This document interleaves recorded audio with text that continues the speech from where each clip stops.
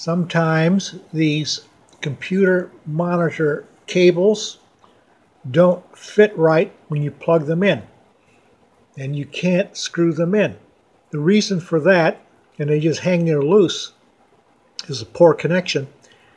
These screws aren't long enough. Some are longer, but sometimes you get these generic ones like I bought here.